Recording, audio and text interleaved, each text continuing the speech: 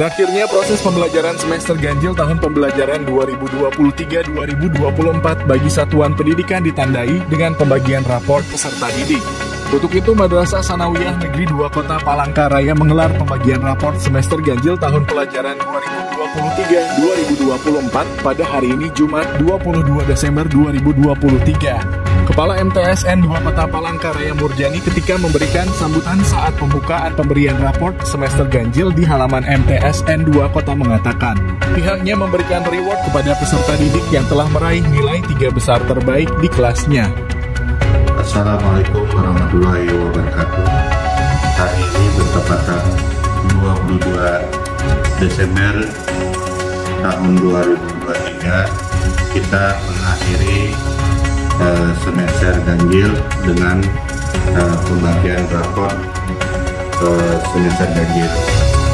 Kemudian di akhir pembelajaran semester ganjil ini kita memberikan reward kepada anak-anak berupa hadiah kepada mereka yang memiliki nilai terbaik satu, dua, dan tiga kemudian uh, dengan berakhirnya semester ganjil ini maka anak-anak uh, ya, ada libur semesternya.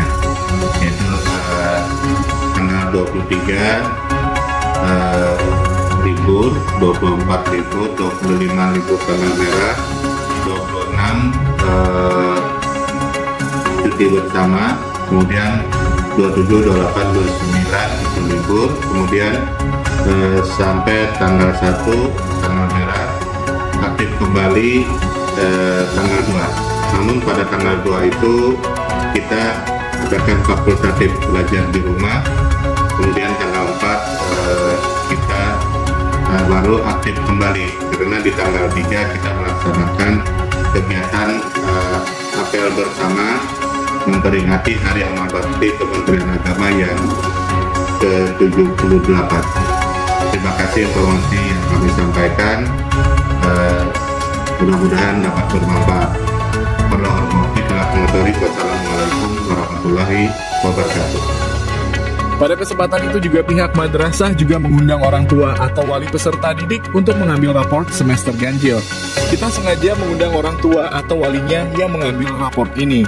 Karena inilah momen antara wali kelas dan orang tua untuk menyampaikan hasil pembelajaran anaknya selama satu tahun ini. Untuk itu kami mengucapkan terima kasih kepada orang tua wali peserta didik yang telah berkenan hadir ke madrasah untuk mengambil raport. Ungkapnya.